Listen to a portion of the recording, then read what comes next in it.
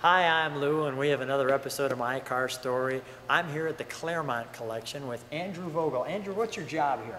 Uh, I'm the VP of marketing actually for the museum. Although we are a private museum, Yes. uh, we are open for special events for corporations and charities and things. So, uh, so that's what I do here.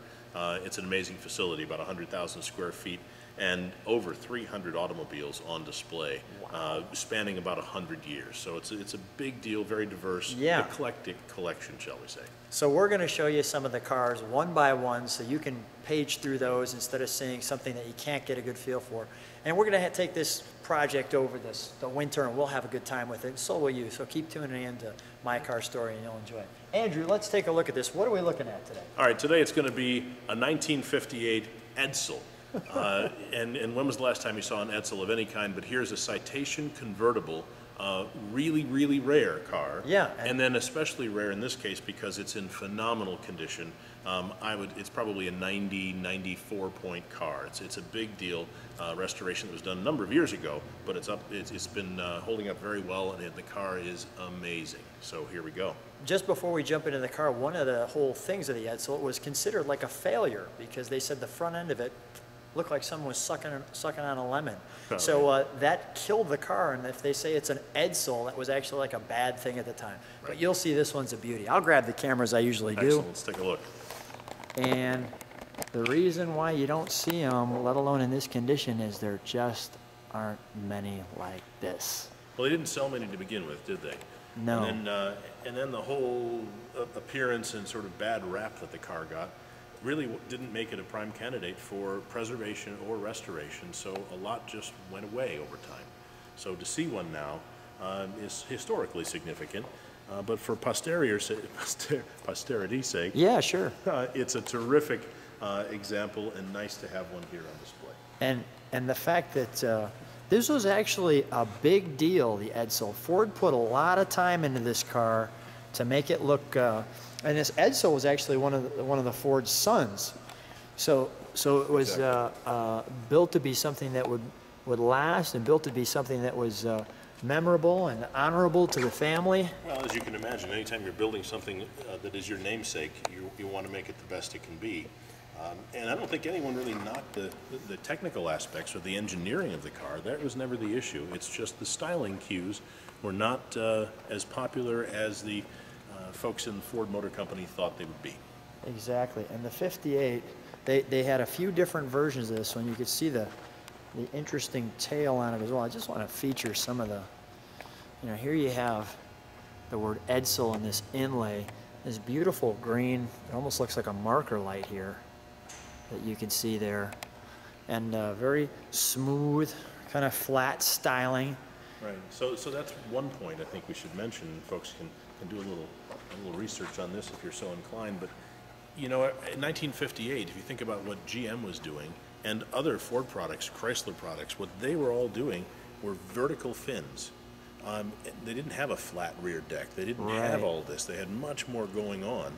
And then that's still sort of bucked that, that trend as well. So it didn't have the most appealing front end. And then they went 180 degrees different on the back end from everybody else, and it just didn't fly, no pun intended. Yeah, and you could see the the beautiful styling in here. You could see another word Edsel right there.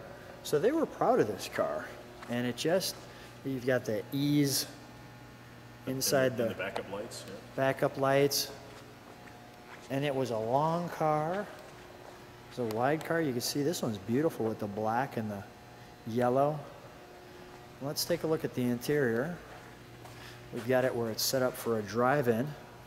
They put those there, and they've got people in the car, and they This- this watch the movie here One at of the the Klairmont. displays we have here in the museum that, that take us to a bit of Americana, a little bit of history beyond the automobile.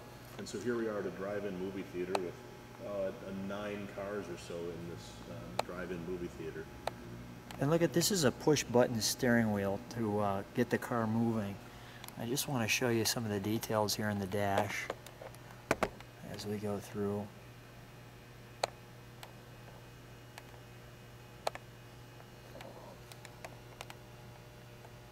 Another E there in the center. Yeah, don't mind the driver, he's okay, just a little stiff. that's actually got on the far side there what, what model you're in. And there's a big, that radio looks great with the knobs on it and the details there on all that. And you can All see, it's unusual, right? I mean, look at the, look at the speedometer. Um, It's another, another variation on theme that, uh, another experiment. They're just trying something to be different. I think the Batmobile took that idea, that speedometer. And you can see here the different pieces and these kind of flap buttons and they go accordingly. I'll give you the, the details here of that right there. Just so much involved in this car. Look at the, the down below here. You can see the, the pedals, let alone they've got these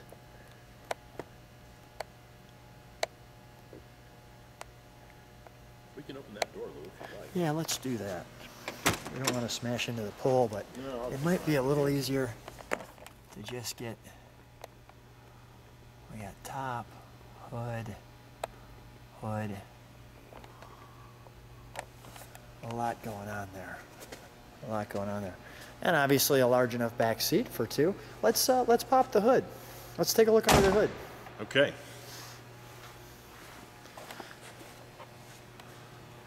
I think it's inside. Oh, it is inside, I'm sorry. It's all right. I completely forgot. There's so many cars and they're all a little different. Yeah.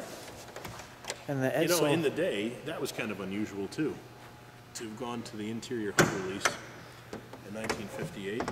I'll have you pull that up, and there's, there's one more extra latch right here, you'll see it when we pull up, which pushes there, and then it comes up. And that's even like a unique feature on how they have the hood held there.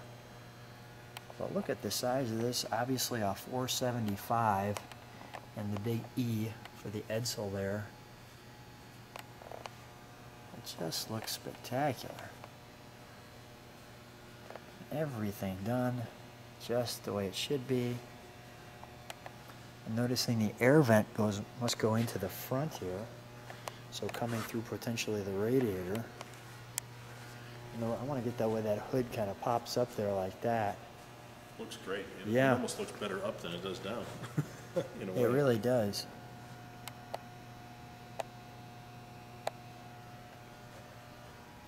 And the, Ford blower. And that looks great. Let's get, uh, let's shut the hood. I want to get one more shot of the front of that sucking on the lemon.